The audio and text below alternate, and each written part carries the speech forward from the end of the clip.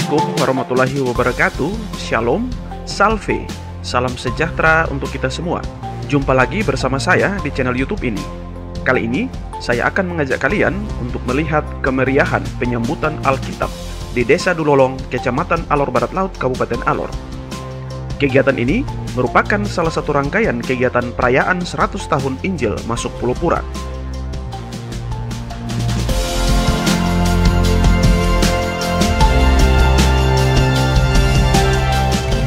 Ya, selamat siang untuk kita semua. Hari ini saya berada di Desa Dulolong.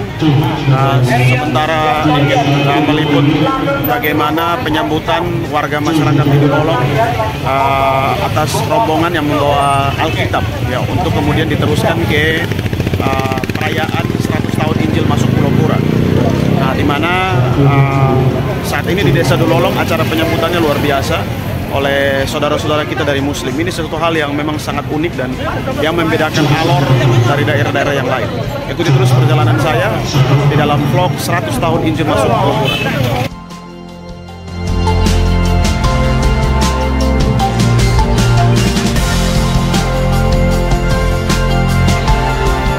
Dulolong merupakan salah satu wilayah yang disinggahi oleh pendeta Romulus Rupilu Tulihere 100 tahun silam sebelum ia berangkat ke Pura. Dulolong merupakan salah satu kampung bersejarah bagi umat Kristen Kabupaten Alor, sebab di kampung inilah pertama kali acara pembaptisan dilakukan. Bahkan, beberapa pendeta pribumi pertama juga dibaptis di kampung ini. Walaupun mayoritas masyarakat desa Dulolong beragama Islam, namun tapak kaki sejarah yang sudah diwariskan oleh nenek moyang mampu membelah sekat-sekat perbedaan kehadiran Alkitab di Dulolong begitu disambut antusias oleh masyarakat. Setelah tiba di Dulolong, Alkitab kemudian diarak menuju rumah suku Lekaduli. Di sini, Alkitab diterima oleh para tua suku dengan tutur adat.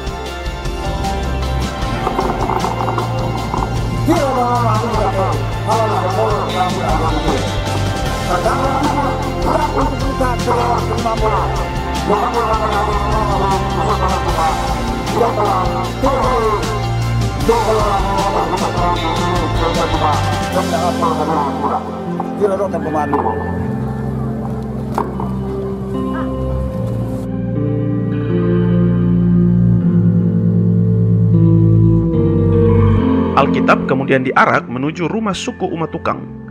Di sini, Alkitab juga diterima oleh tua adat dan tutur adat kembali diucapkan. Bola. Sadang Tidak sama sekali. Ni nara ite kumpul lawan uno Faleo nakabili Nene kere umah ni uno Dare bapa ni lara Dare bapa ni murni Tahu kabe pulang kere Kawai pulang beta Nilara Foto Foto Udang sama sekali. Gate lahat alang ni surah Beta serahkan ni itu yang bapak kere Yo Ite yang hama-hama. Tate de tahun ini ulu Sampai ada kena Mario Ini dia Oh ada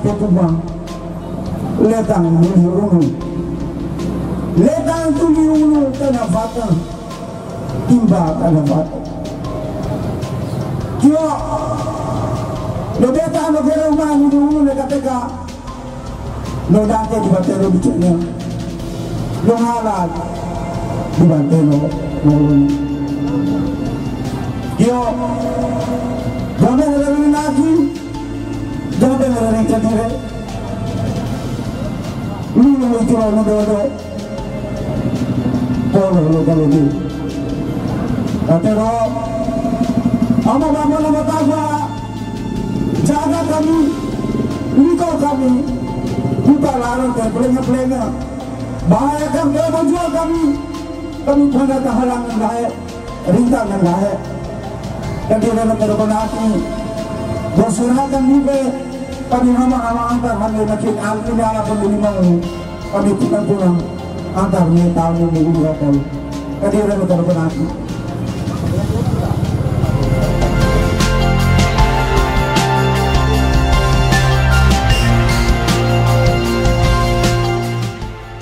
Penuturan adat seperti ini penting untuk memberikan pelajaran bagi generasi muda tentang pentingnya toleransi dan semangat kebersamaan. Dari rumah adat Umat Tukang, Alkitab kemudian diarak menuju rumah adat suku Umadopu. Di sini, penuturan sejarah singkat disampaikan oleh tua adat. warahmatullahi wabarakatuh. Shalom, salam sejahtera untuk kita semua. Bara masuk Umadopu Neono.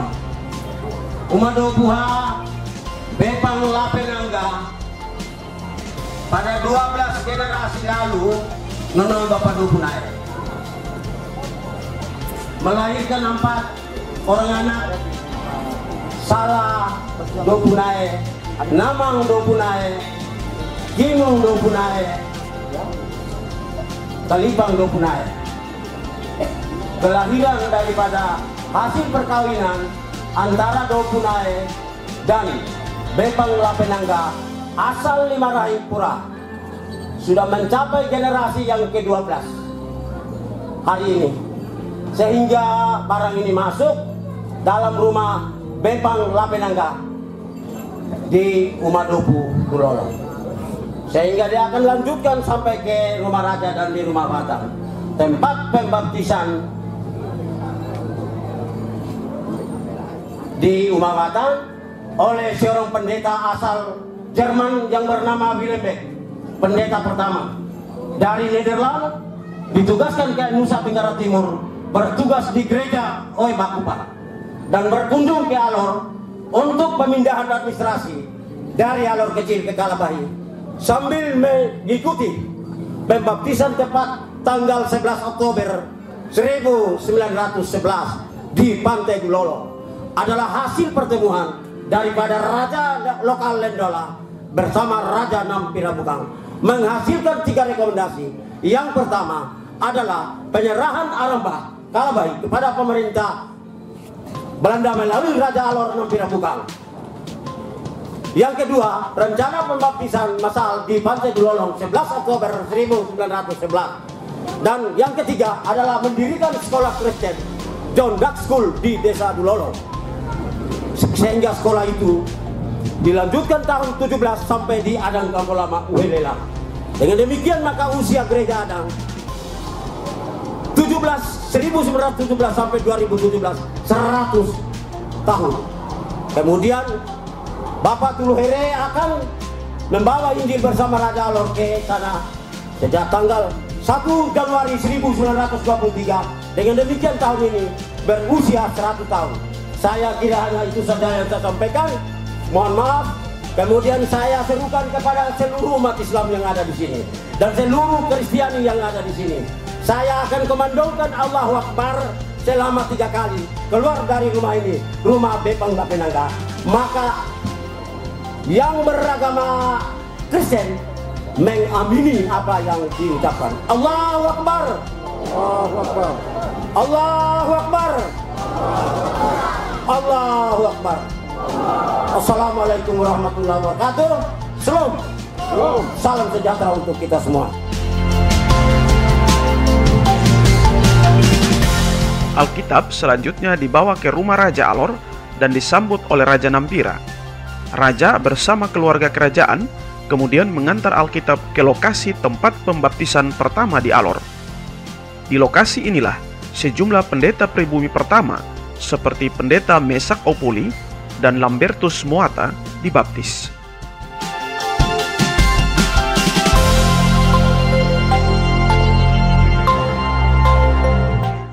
Ya, ini di samping saya sudah ada Bapak Ketua Majelis Klasis Alor Barat Laut. Salam Bapak. Salam. Uh, Bapak bisa menggambarkan uh, apa namanya uh, kegiatan hari ini menurut Bapak seperti apa? Karena ini ada orang Islam, orang Kristen sama-sama me- mengarak Alkitab. Mungkin Bapak bisa ceritakan sedikit pengalaman Bapak Ya. melihat seperti ini.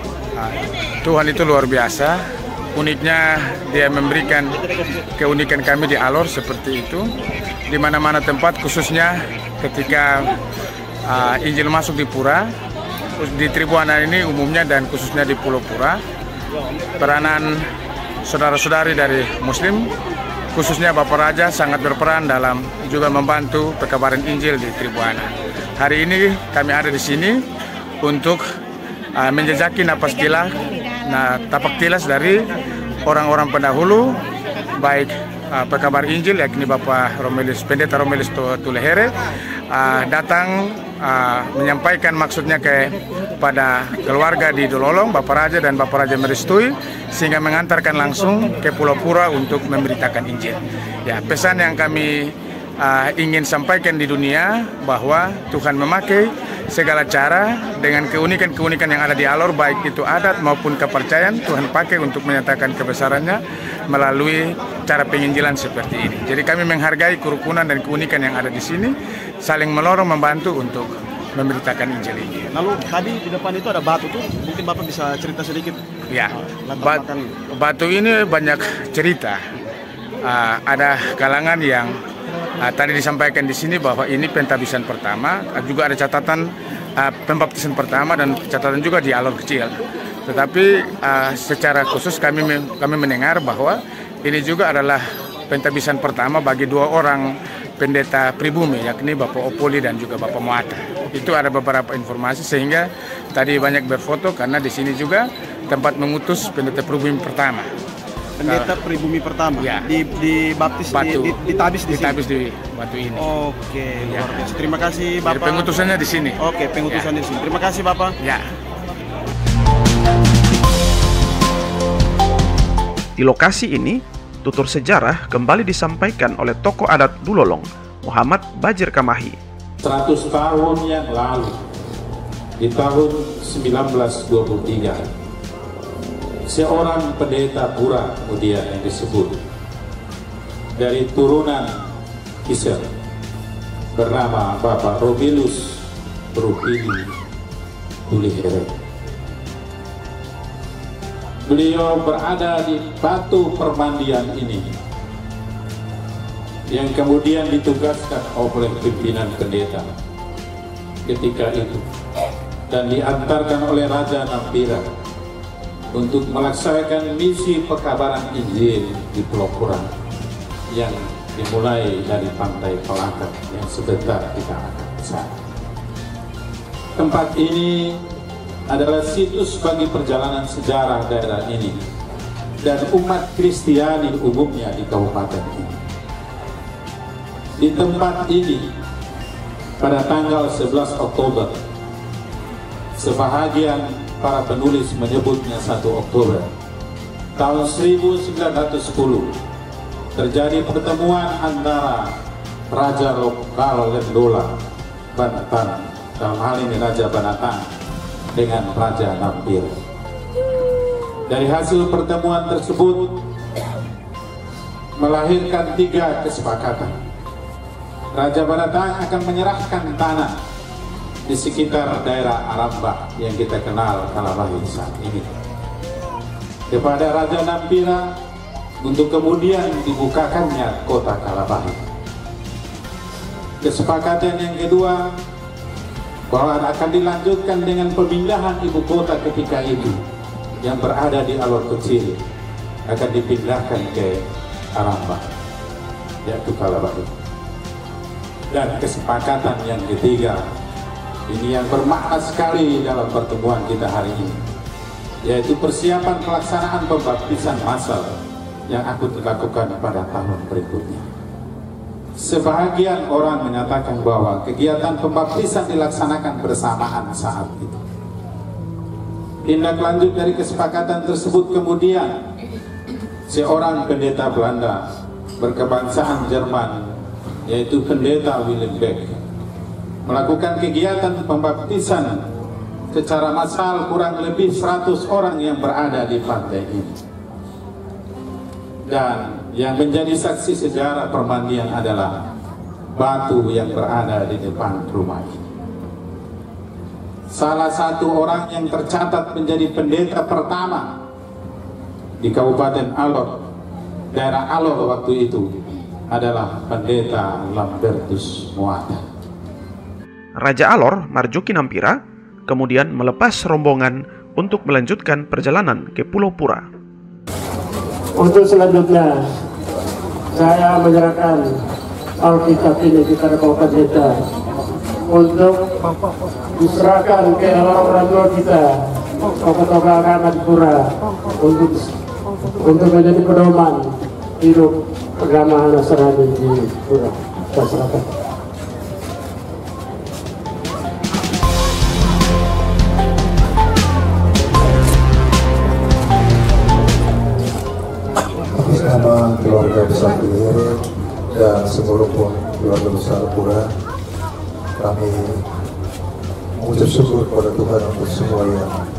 Hari ini Tuhan memang lebih besar daripada sekalian dan kebesaran yang pertemukan kita pertemukan semua saudara di sini terus beberapa Tuhan besar kami akan belajar daripada pengalaman di masa lalu.